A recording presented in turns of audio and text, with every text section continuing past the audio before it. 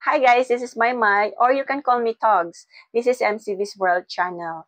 So in this video guys, ang gagawin ko po ay sasagutin ko po yung isang katanungan na kinuha natin sa isang video na in-upload ko po like one year or two years ago. Itong video na to guys. Yan, nasa top ng aking head. Lalagay natin dyan. Yung title nito ay How to Flavor uh, Whipped Frosting into Mango Frosting. Uh, before tayo mag-proceed sa questions guys, uh, let me say some insights ko anong nasa loob ng video na to. Kasi mahaba po siya, 24 minutes I guess.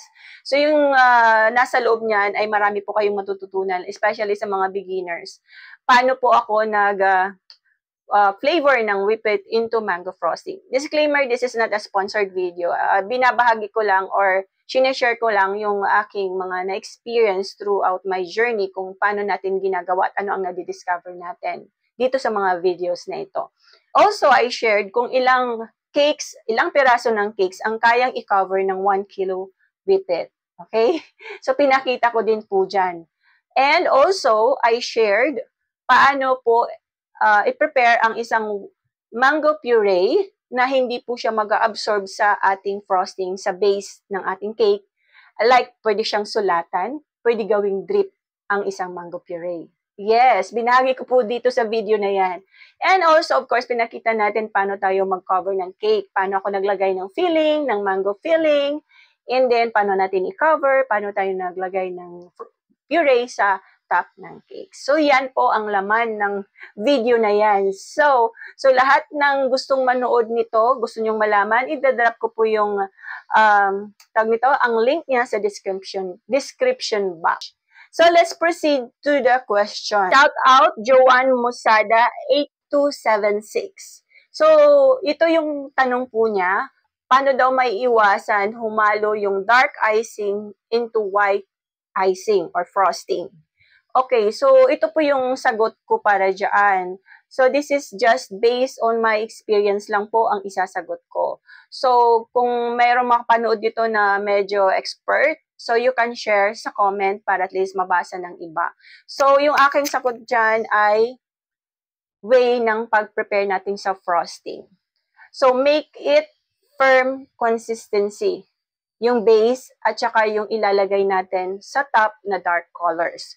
Halimbawa lang itong ginawa ko po, yan, nasa top na po natin yan, yung flour cake. So, ito lang, uh, I guess, yung example na meron ako kasi matagal na ang mga videos na yan. So, wala na yung ibang video sa gallery ko. So, ito yan ang natitira. Anyways, ito lang, pakita ko sample lang kasi may dark colors naman dyan, di ba? So, nakikita nyo yung nasa base niya ay light, light colors. So, sa flower na linagay natin, may light, may dark colors. So, as you can see, hindi po siya like naghalo sa base ng color. Hindi po siya nagkalat. Kasi po, ang ginawa ko po dyan, before po tayo naglagay ng flower sa top, yung frosting na base na light or cream yata ang ginamit ko dyan, cream color, basta light, something light, cream color, ay sinet ko po muna siya. Pinaset ko po siya, like linagay ko siya sa ref bago ko siya ilagay yung mga flowers dyan. So yung preparation po yan ay based dapat sa consistency. Kasi kung ang consistency ng inyong gagamitin sa base at, at sa flower itself ay medyo malabnaw, matubig, or soft, or something hindi siya nagsiset, ang tendency po talaga niyan ay maghahalo yung colors, yung dark at saka yung uh, light base color.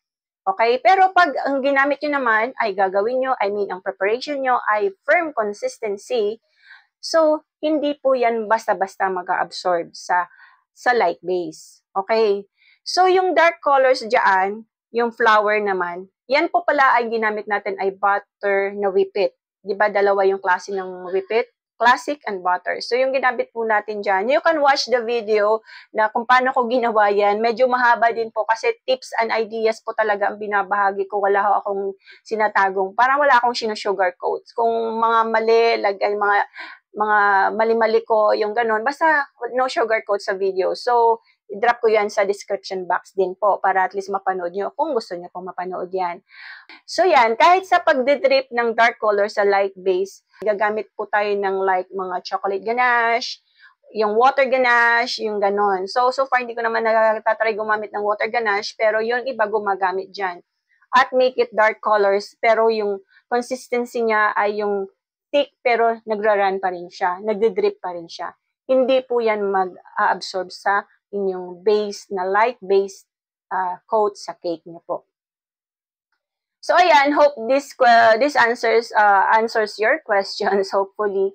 So kung meron man kayong nalalaman pa diyan, you can comment dito sa ating video. Then, thank you so much and please don't forget to like this video and share this video and don't forget to subscribe and don't forget to skip the ads. thank you so much. God bless and see you again next time. Bye.